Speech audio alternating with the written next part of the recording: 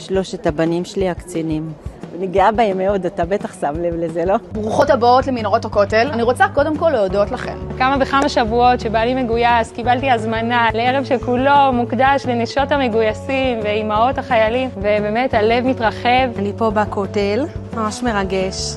עשינו פה סיור עם מדריכה שממש חיברה אותנו. היה לי פחד להגיע, אני בהלם מהמקום.